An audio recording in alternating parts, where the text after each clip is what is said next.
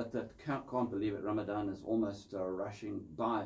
We've got a very special guest in studio. We'll introduce him later on. and uh, in studio, uh, sitting in a slightly different position because uh, Almost forgot about me. there are about three cameras on us here, so I have to really put on my best face today. But uh, Sabir, assalamu alaikum. Walaikum salam, how are you in Kashmir? I'm good, thank you. I'm getting a, a camera shy here. Wherever I look, there's a camera behind my ear. There's one in front of my nose. There's a side view, Almost like television. Almost like television. Ah. I hope the cameras can survive my face. anyway. I've got a face for radio, so I'm sure it's fine. Of course, it's a Friday morning, very exciting. Lots going on this morning.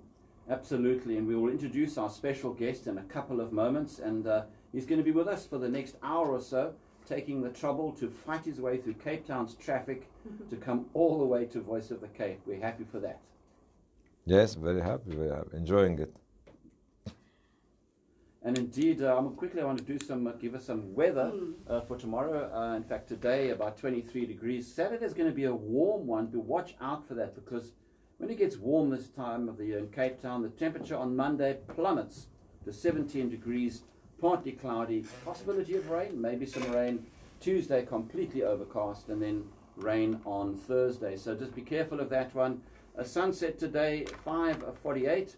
It's getting earlier, and uh, sunrise getting later, 7:38 uh, at the moment. We're going to do some uh, marketing. We're going to do some ads, and then after that, we'll be right back with Ramadan AM.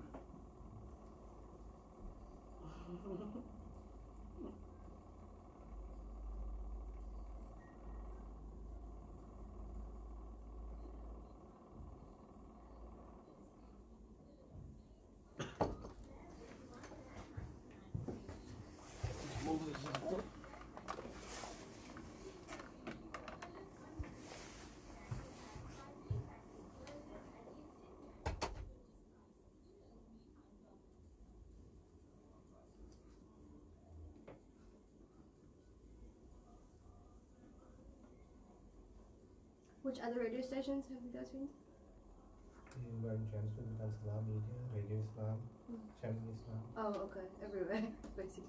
Konawi Radio. So Oh, okay, Islam cool. You must send my salams to um, uh, the Qari Yes, and also to Yaqub as well. Uh, We just met him yesterday. We arrived back from Mozambique, Oh, Uh-huh. Johannesburg, and he returned from Kenya. okay. So at the same time, we Yeah, reached town on the yeah. airport yesterday. The meeting point was uh, Nando's okay. on the chicken.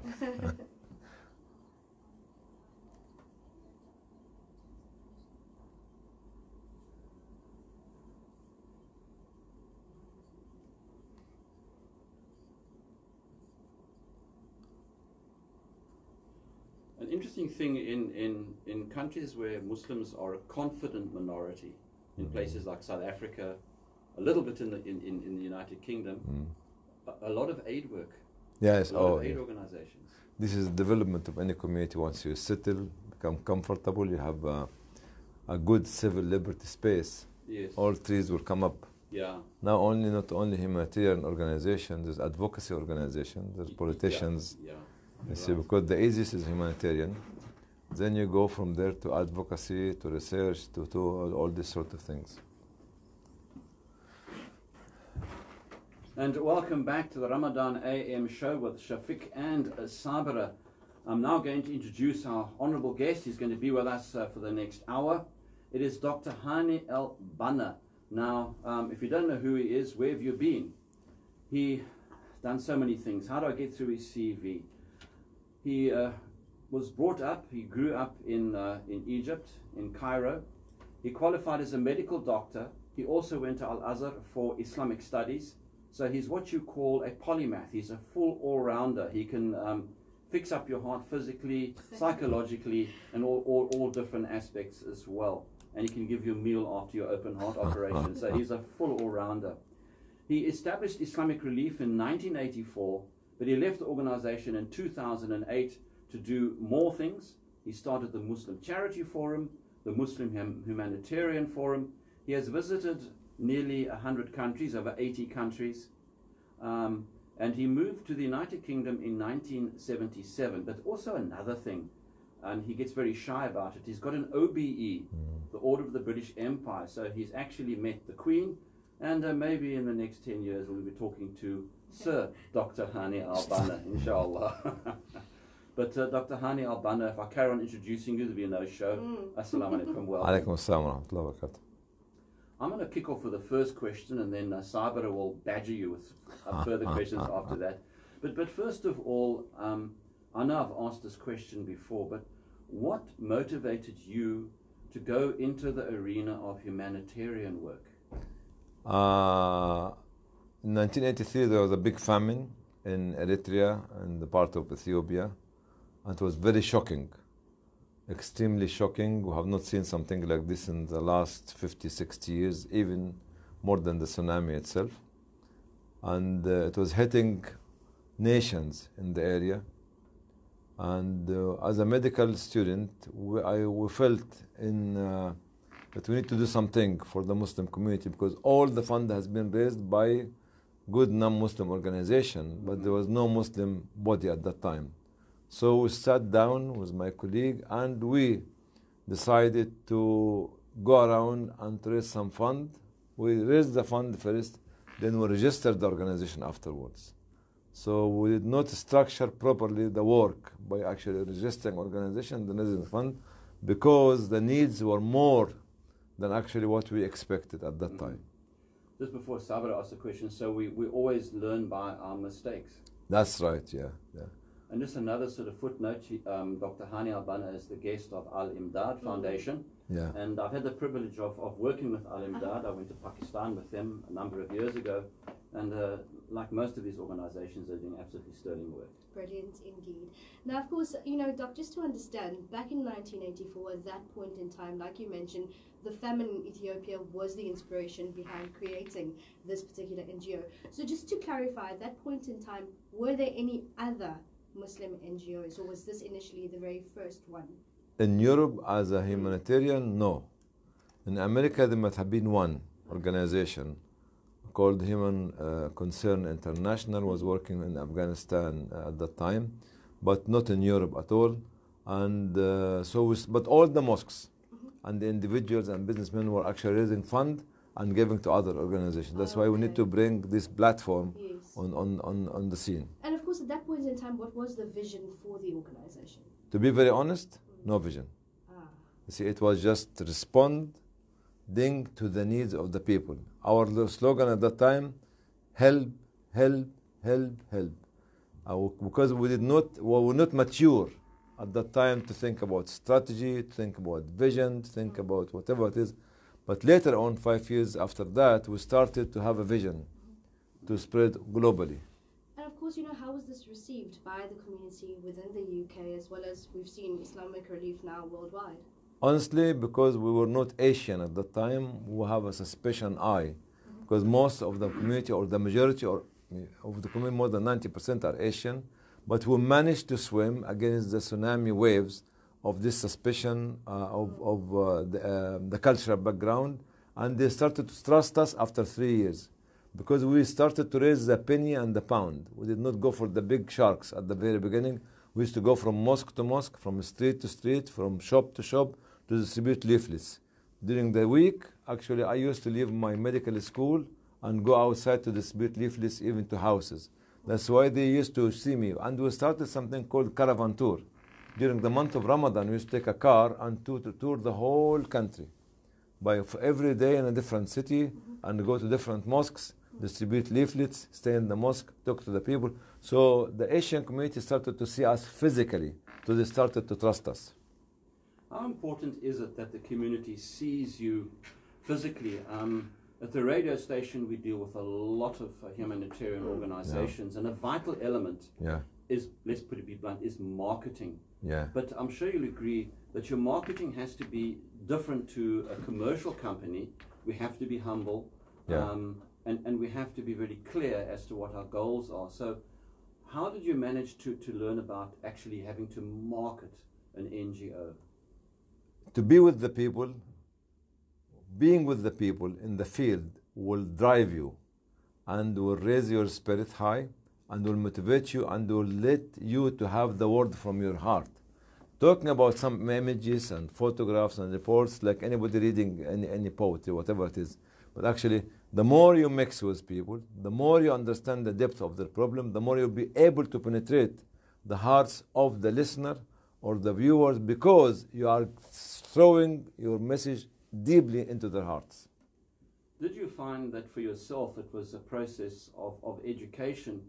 Um, because aid work is all about knowing people, isn't Yeah. it? It's about being able to look at a person and quietly assess that person is sick, that person is, and I know you can do that. You can look at a person, you can say almost what kind of aid they might need when you get that experience, especially when you're in a crisis situation. Yes, it, it's a combination of both. You see, for, if I give an example of how did we make the needs assessment for Chechnya in 1999, uh, it was against the regulation of the British government of going to this area. Said even don't go to Moscow. But by the time the foreign office came to advise us, I was already there. Not only in Moscow, I was already there in Grozny, and I was with the country representative at that time, looking at every aspect of life of the people. We started with ten thousand dollar, which was a token, then went up to one hundred thousand dollar after two or three days. Then by the time that we finished the assessment, it was one million dollar as a budget to start because we needed trucks, we needed vans, we needed uh, clinics, we needed tents, three layers tent, and all these sorts of things came when you sit down with the people. If you remember, in this at that time, there's something called Sputnik camp. Sputnik camp, which is a train camp. The family in, lives in one compartment on the two uh, on the, on the shelf where you put the the bags, then on the seats, then on the floor for, for, for an in a sub-zero temperature, maybe minus 10, minus 15, minus 20. And with, with being with the people there, you manage to know what they need exactly medically, psychologically, uh, uh, the shelter that they want, the water that they want, or everything. And uh, before Sabra asks another question, um, do you think one of the most important things in humanitarian work is getting to the people first, not coming with a lot of goods that might not be needed? I can remember in this during the tsunami, certain people from Europe sending winter clothing to uh, Aceh, and that's useless, isn't it? you know that, that basically you, you have to get on the ground and know exactly what people need and even buy local goods and local food. That's right. Buying local goods and local food is very good for the local economy. This is something for all the humanitarian organization has to do. Stop sending cans and bags of rices from South Africa in a very long journey for about 5,000 miles, 10,000 miles. Extremely expensive. It's very emotional to see you bringing two sacks of rice or whatever it is. No. It is for myself because I'm a social, uh, what do you call it? So- social mufti, not religious mufti. In my social ifta, I say this haram because it, it, it uh, drains money, resources, and effort, and it goes there by actually after six or eight weeks. This number one. Number two, actually being first there, that does not have to become very arrogant. To be first where the problem is happening and to anticipate the problem. Like actually before the Bosnian conflict came, we were promo- we were actually advocating for this something will be happening because now the, the greater Yugoslavia is, is, is divided and there's a Muslim minority in the area and there'll be a conflict. This was one year before that. And we start to make the connect, uh, contact and the connection with the local representative in Sarajevo as well as in Zagreb. And by the time the conflict came in April uh, 1992, we were on the ground. But we were on the ground because we got educated about what's happening there from the local community. Now, of course, Doc, you know, financials can tend to become a bone of contention within aid organizations. With your expertise and your experience, how have you ensured accountability when it came to issues of the financials of the organization? Accountability is a killer. If you don't use it, it kills you. Finance is what destroys the organization if you don't have a good team at that time. To have resources or not have resources was not on my agenda or not our agenda at that time. Why? Because we were focusing on the aim of the work itself. The aim is to get the people the, the, the, the material that they need at that time. So what we have been doing, it we're focusing. If I give the example of Chechnya, we started with less than ten thousand dollars, but after three months of taking the risk, being there in this very difficult time, we spend after three months about two or three million dollars. So because people found you on the ground, because people found that you are sincere, because people found that actually are delivering. So this ten thousand dollar grown up from ten to spending, not actually raising, uh, to spending three million dollar in less than three or four months. This is how finance is, is can come to you even if you don't have the resources. But my advice now to most of the organization nowadays, because now we are governed by security or governed by intelligence, not by humanitarian uh, workers, in any conflict zone, be careful, extremely careful not to send an amateur. Be careful if you don't know the mechanics of working in conflict zones like in, in Yemen or in Syria or in South Sudan. You go there and take some photographs, and by mistake you do something there, you will be classified because this area is very well in, uh, uh, uh, very well infested or be, there's many, many, many secret agencies from different backgrounds. If you go to Syria area now, there is secret agencies from different European countries, from different Arab countries, from uh, Iran, and everybody is watching without telling you that you are watching.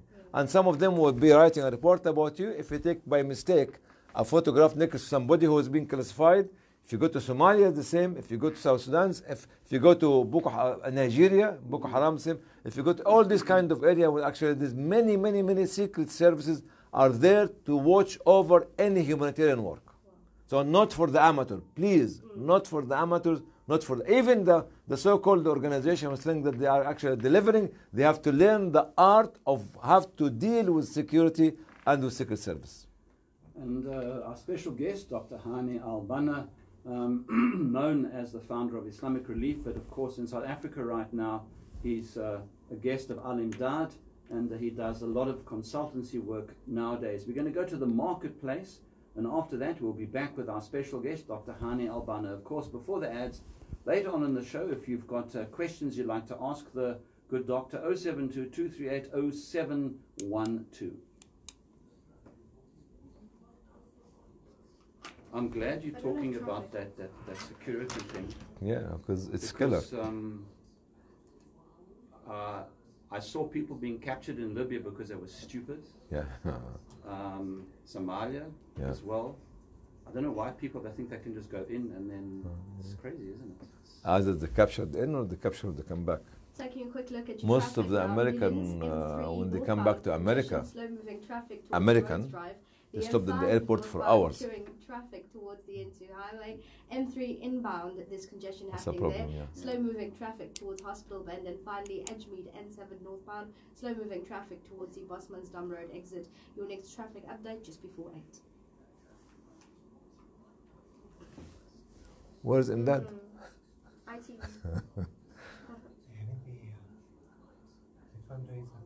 ah. Oh, this is uh, in, in, uh, in what do you call it? In, uh, in fact, what happened in Syria, there were some groupings in South Africa that took some aid to Syria, and I, yeah. I got very angry, and I warned them, and they were giving the hand aid straight into the hands of Jabhat al-Nusra. Subhanallah. They don't know what's the difference. And then the one guy got killed. In, from didn't Britain as well. Listen, didn't yeah. want to listen. They must do it themselves. I said, yeah. go through the established organizations yeah. who've got the people on the ground. Yeah unfortunately. Oh, we live There was yeah. on Facebook. Oh, okay. Just watch. Yeah. yeah. even even at that time, 2011, 2012, the caravan corridor from UK was said, "Don't send caravan, don't send caravan, please, for God's sake." Exactly what you said, but people don't listen to you because even sometime in the fiqh, hand in hand, okay, hand in hand where you are in the neighborhood, but now there's wiring See, why, how can you help Rohingya people? Hand in hand? You, you can send the money to a credible organization in Bangladesh or somebody here, and it will be wired to the people. Even some in certain uh, countries or certain like, like Gaza, actually, we, we, we transfer the money directly to the donor, to, to not to the donor, to uh, the, the, the, recipient uh, in, in the area, because of this kind of money laundering and in this in this conflict zones. Even so, in an area like Gaza, you have to be very careful because one day one of the recipient might become uh, killed by the Israeli and they killed. You are telling, you are giving the money to somebody who was actually fighting us. He was a terrorist, and this is the classification of a different country. So you have to be extremely careful of choosing the people that you actually support. Not only that, of how to send the money to them Mm. Cash becomes a big liability Yeah. when you give cash in hand in the field. Yeah, yeah. Big liability.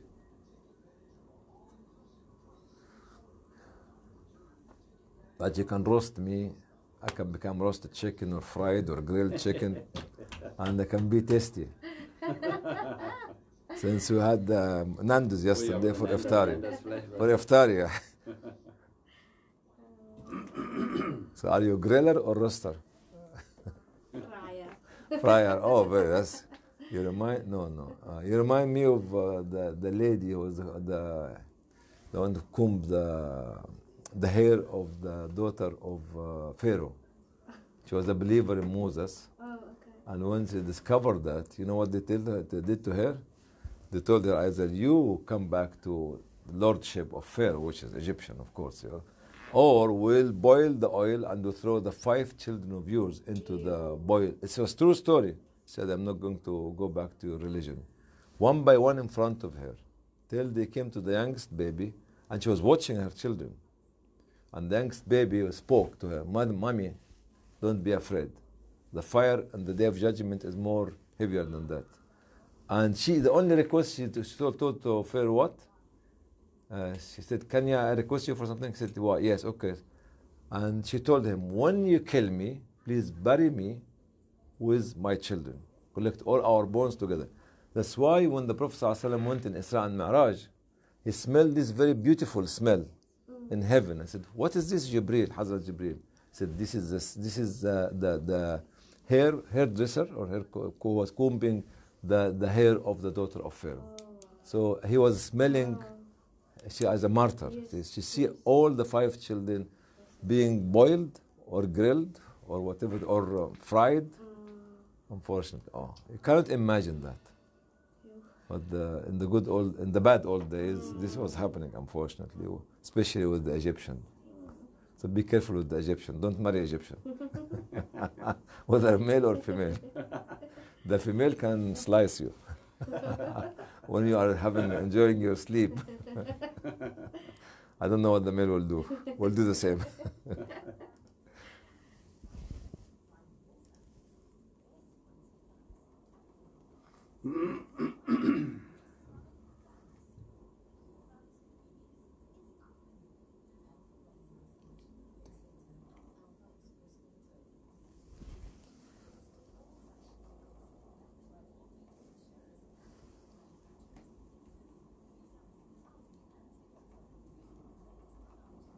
just going through some adverts. We have a lot of adverts in Ramadan. Yes, yes, yes. All food adverts. The months of fasting we advertise for food. The richest table in the year, Ramadan. Yeah.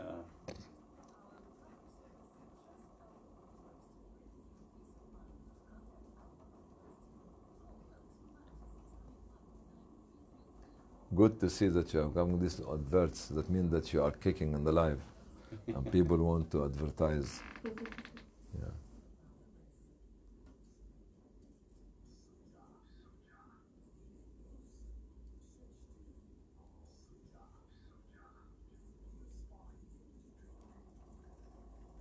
Yeah, there. A advertised, yeah. okay,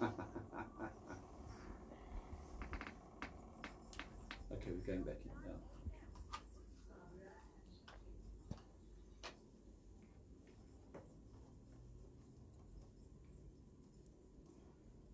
And welcome back to the Ramadan AM show, live with uh, Sabira and uh, Shafiq. Our special guest, Dr. Hany El Banna, OBE, Order of the British Empire, for his services uh, to humanitarian work over the decades. Everybody says uh, talks associated with Islamic Relief. Yes, he did found the organization, but he left it in 2008, and since then he's been doing a lot of um, consultancy work. He's founded the Muslim Charity Forum, the Muslim Humanitarian Forum. Uh, he still visits uh, all parts of the world. He's currently a guest of Al Imdad and has recently returned from Mozambique. Uh, Dr. El Banna, just before the break, you were talking about the great need for security of humanitarian organization, and I did say off air, and it was live on Facebook, that there, there, a lot of people make a big mistake when it comes to this. They think they can go in themselves um, when the best thing is to work with accredited organizations because in conflict zones, and I've been there myself. And you spoke about spies. I can remember being in a hotel in Benghazi in Libya 2011. There were more spies in the hotel than there were, there were, than there were us. It was quite ridiculous, actually. Yeah. That just quickly, just sort of your word of warning in terms of that, how careful a person must be. Send your money to accredited organizations. You've got people on the ground who've got the right channels and you've got the right uh, uh, relationships with government, whoever the people might be. You see, it is to do to do with ego, the ego of myself that I have to be there. This has nothing to do with the religion. Mm-hmm. The religion has to tell you trust people. Even in the fiqh theology, okay, giving cash hand in hand is one thing, but actually finding the best way and the fastest way and the safest way to, res- to, to send your fund through this credible organization. If you don't know the mechanics of the area, you don't have an organization which understand the mechanics of the area, you could lose your life or you could end being in a jail because some of those secret agencies in this area will look at you through their eyes, not through your emotion. And the more you become emotional, the more they become excited to classify you and put your name on the list. To tell you something, there's something called Thomson Reuters or World Check. You know how many, how many, how many, how many names on the terrorist list on this organization? Three million.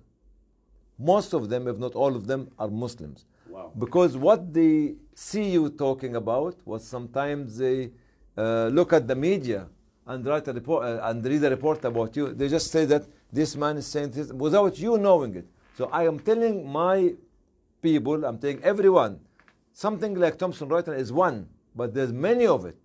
Each country has got its own list according to the criteria that they put for actually extremism, radicalism, and terrorism. So be careful, please. Be careful, please, not to jump on a bandwagon getting excited by your ego. Just very quickly before Sabra um, grills you like a chicken, um, um, I'm sure if we use Arab, Arabic word wasatiyah, we have to go, go down the middle. Yeah, middle, yeah, middle way, yeah. Now, of course, you know, over the years, what have been some of the challenges that you have noticed within aid organizations? Most important challenge is human resources, not financial resources. Sometimes we get excited by getting the very emotionally excited individuals to do the job without understanding the mechanics and the dimension of the, of the jobs. As you were talking about, the, the philosophy of working in, in the conflict zones different to a famine-stricken area, then different to a poverty area. So all these have got different parameters and dimensions and access to the people there. Then the culture, the culture, the, the local culture. You have to be governed in this area by the local culture of the people, not by imposing your local culture on them. This is something which created a lot of conflict. In the, in the case of Darfur, actually, some of the Western, coming from the young people working for big international uh, global organization, they were looking down at the Sultan or at the uh, tribe uh, chief, and they were not talking to him. Because what? Because he's wearing a very old clothes with a slipper, and said, "No, no, we're going to have the access," and they didn't have an access. So they have to come back to this miserably looking old man, they're wearing a slipper, and tell him, "Please, sir, give us the access." Without knowing the culture, you get nowhere.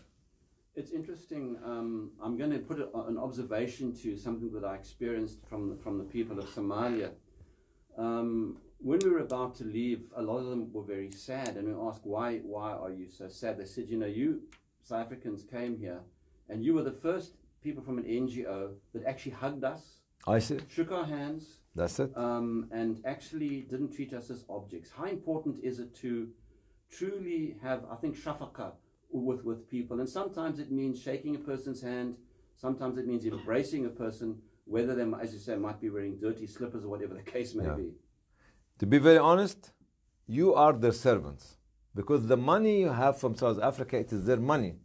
It bought your ticket, it bought your hotel uh, room, it bought your food. So we have to look at them as our masters. Unfortunately, nowadays we look at them as I don't like to say slave, but as as somebody objects. So don't ever, never in your life or in my life to treat them as numbers, as pair of shoes, as number of tents, as, f- as, as, as food boxes. They are human beings. They have dreams, aspiration, and they want to live the best life. And you are, res- even if you are a donor, even if you are a millionaire.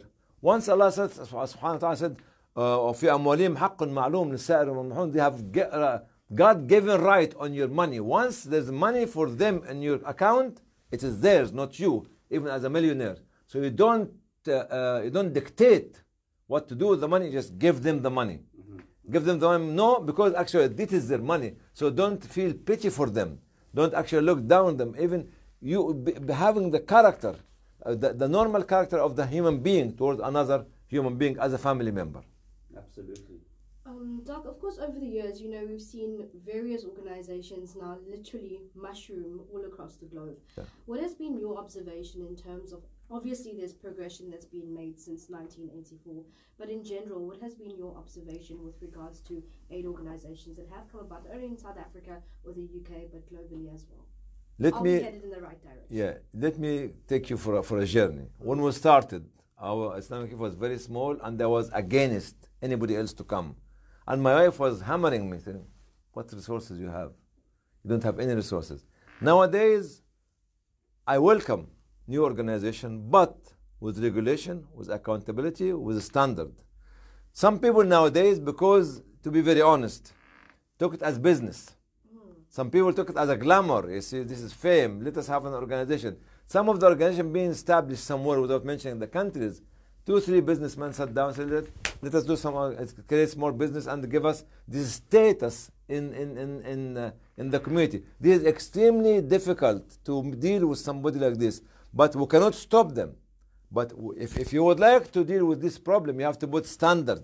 It's the, the, the, the country of South Africa has to put a standard, humanitarian standard, to be followed by such organization. They have to put a strong regulation at how to raise the fund, how to spend the fund, where the fund will go. Actually, to train the, the, the staff, spend money on training of the staff, not getting a staff who do not know what to do, and actually send them to go to these difficult areas within Africa or Asia or in conflict zones. So this kind of capacity building, training, research, advocacy, and getting the right people raise the awareness level in the community itself about humanitarian work and humanitarian work and humanitarian support becomes like an art, not only an art, a profession which produces the art of delivery, the art of being with the people, that, as you said, being with the people, smiling at their face, shaking their hands, sitting down with them, and letting them to feel that you are one of them. This is an art, an art of belief inside your heart. So really, the humanitarian work now become a profession and become an art and become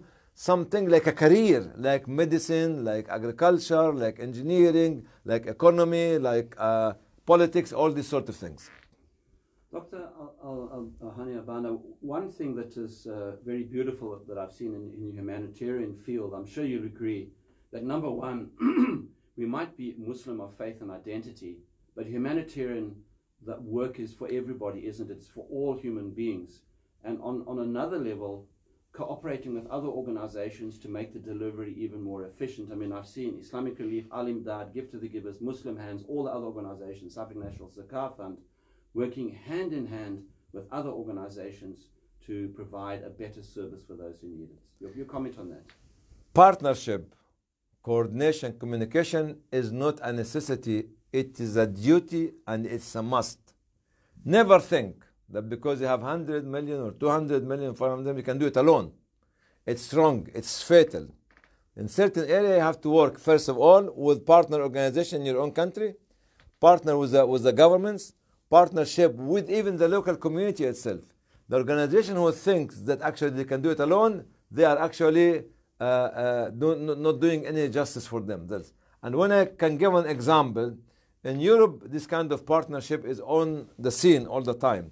And in spite of the fact there's something called SCHRs, it's an, an, an, an umbrella platform getting uh, uh, t- t- 12 or 13 organizations together, like Oxfam, Save the Children, World Vision, and others.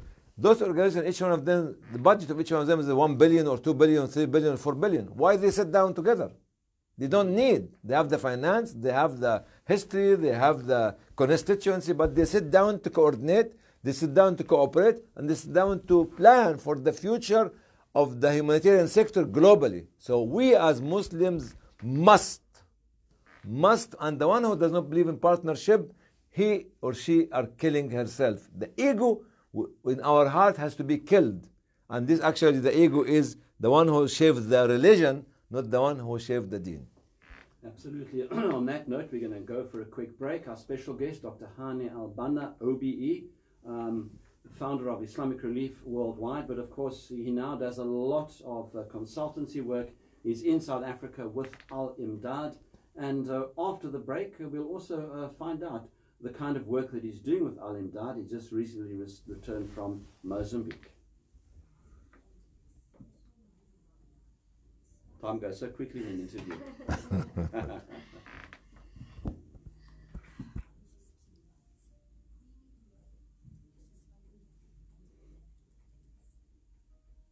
Have you written a book about your life at all?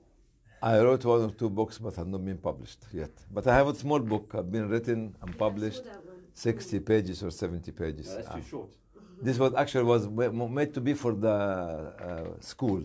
Yes, for school, it. yeah. yeah. And uh, even I'm going to talk to one of the schools in near Leeds in Birmingham in, in, in UK next month about uh, the book and about my journey. This one of our dreams nowadays is to bring these umbrellas to bring people together. Yes. That's why actually you mentioned Muslim Charities Forum, you mentioned Humanitarian Forum. Muslim Charities Forum is an umbrella which bringing Muslim charities in UK together. Oh, that's good. Okay, Yeah. it's very difficult. I know. I. I'm telling you, it's very difficult. Yeah. Okay. The second one is for the global, which is the humanitarian forum, Mm. which you find yourself that you are working in this global atmosphere, trying to change the atmosphere. You can imagine if you have a tree, a seed you can put in the land Yeah. to become a tree. But if you want to change the climate, it is more difficult. Yeah. That's why actually it's happening, but it takes a lot of time. And to be very honest, we as Muslims do not invest in research, do not invest in advocacy, do not invest in building a think tank, groups, and institution. We invest in handout. Ramadan is the month of the handouts. Wrong. Ramadan should be the month of building capacity and building community. But unfortunately, we're still traditional. Very true. In fact, in countries like South Africa, United States, United Kingdom, we should already have institutions and we don't have them. Mm. Yeah, and actually, when you, when you look at that, your attachment or your history with UK and with USA, you should have this coming to us. But sometimes people interpret the religion differently. Yes. You see, classically, yes, if the Prophet ﷺ was in the 21st century, he would not have done it the same that he was. The principle would be the same, the core message would be the same, but the delivery would be different. Application is different. The application would be different. Or even with discussing the code of dress of Muslims, um, especially Muslim men. If the Prophet ﷺ was born in London, so what his code of dress could have been? And welcome back to Ramadan AM. Our special guest uh, in studio is uh, Dr. Hany Al-Banna, and uh, he is, was the founder of Islamic Relief. Of course, he's left Islamic Relief in 2008. He was awarded the OB, Order of the British Empire. He started the Muslim Charity Forum that uh, gets uh, charitable organizations under one umbrella in the United Kingdom, Muslim Charities, and the Muslim Humanitarian Forum, which works in the global context. Dr. Al-Banna, there's a question has come via the WhatsApp line. It says, one of the things we see being debated these days is the issue of what they call poverty pornography. In other words, uh, it's a picture, people use a picture of a starving baby to raise funds. Does poverty porn address the real structural problem of poverty? Don't ever abuse the needs of the needy. It's criminal. It's criminal. It's criminal. And in my opinion, as a social mufti, social mufti, not religious mufti, Right. It's haram. All right, another fatwa. All right. Yeah. I'm, I'm clear. unquote, yes. So because what? Because this is uh, it is their rights, the right of the people to tell you take a photograph or not before you ta- be- be- before you take the photograph without their consent. They have to give you the consent. There have to be a policy of how to take the photograph, how to film, and how to other by asking the people, please, will you allow me to take a photograph of you or not? If they said yes, you do it. But actually, this this kind of heavy word, uh, poverty pornography, it is absolutely ridiculous. It should, it's not humane. It's degrading, not degrading the people who are in the photo, but the people who took the photo. You see, the, their morale is down and they are not doing any justice for the people who they pay their salary. Having said that, you know, how important is it for media that go into these regions to report on these cases? How important is it for them to be familiar and to understand how to report when it comes to crises like this? As I said, you have to have a policy of filming and taking the photographs of the big disaster area, and you have to be with the people in this area and asking them and telling them, shall you permit us to take your photograph or not? See, I tell you something which I have to confess publicly because I'm not a saint or I'm not an, uh, an angel. One day in 1993 94, when I was in Albania, I did this kind of uh, poverty, whatever you call it, by giving the money hand in hand to the Grand Sheikh of Albania. Now I regret this image. It's very bad for me to be seen that I'm giving this few hundred dollars to the Grand Sheikh. It's his money. Why should I degrade him? To be very honest, if I look at this photograph again, after 30 years, I am the one who has been degrading myself. Interesting indeed. Um, Dr. Al-Banna, tell us about the work you've been doing with Al Imdad. Um, you are, are the guest in South Africa. You've just returned from Mozambique, which, as we all know, was um, hit by a very, very severe flood. So tell us something about that aspect of what you're doing in South Africa. So Al Imdad is a member of the Muslim Charities Forum in UK, Mhm. Which is actually established as more, more than 10, 11 years ago. And uh, I am here as, as, as, as the chairman of this organization and supporting one of the member organizations of Muslim Charities Forum. This is to start with. I'm promoting it as well. What we have seen of distributing the rebuilding packs is more important for me but, the, but uh, than actually giving the, the food parcel. Actually, in these two countries, which is uh, Malawi and Mozambique, actually we were doing both, giving the, the food, food parcel to the needy as well as giving this kind of actually rebuilding materials to rebuild their houses. And we went together to see how, how badly this area in Buzi, Buzi, Buzi in, in, in uh, Mozambique, where the river came, it was more than two and a half meters height uh, on, on the same uh, city. So for at least one week, the people were staying on the top of the, of the roof of the mosque. Even the imam was telling me, for more than 500 people were on the mosque, on the top, on, on the roof there. No food, no water, no prayer. He was saying that we were all making tasbih. And every now and then it was raining, raining, raining, raining, raining, raining. Even the whole city of uh, Beira was, un, was- did not have electricity for more than four weeks. So you can imagine how difficult it is. In Imdad, Alhamdulillah, as well as other organizations supporting in this, like Muslim Aid Australia, Islamic Relief, and others, were actually there to help from the very beginning. Even actually, the, the people knew their faces because they came to this very difficult area. Even two of our workers from different organizations lost their life.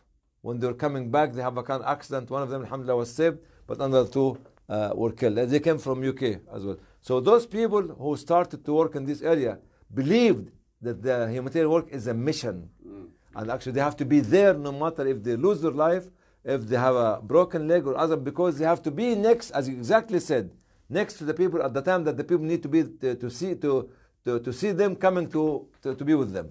And then that was doing this as well as other organizations, alhamdulillah. I, I salute them. Hmm.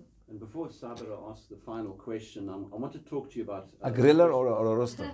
Yeah, she's going to sort of uh, peri peri. the question of, of impact. Um, Yeah. A lot of people say, yeah, but how can you make a difference? And I believe in the, the starfish theory when there's a little boy on the beach and there's millions of starfish and he's throwing them into the sea and an old man says, but you're not making a difference. And the little boy says, it makes a difference to that one starfish. That's right. Do you agree in that theory? I do agree with theory, and this is extremely valuable now that to measure the impact of your work. It costs money. That's why organization does not do it.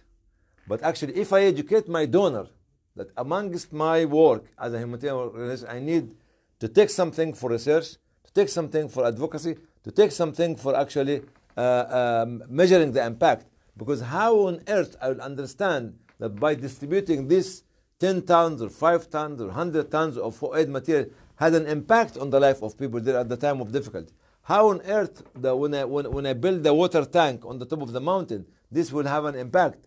You measure the impact of the water tank uh, on, on, on the mountain by uh, um, by calculating the number of children who went to school of because those, those children used to come down from the top of the mountain to the valley to bring the water but by bringing the water to the top of the mountain you actually save their time and their effort to do it to the good school so you have to measure the impact as a process of building your project And uh, before Sabara asks you the last question, flavored with peri peri, um, somebody says, uh, uh, uh, uh, what?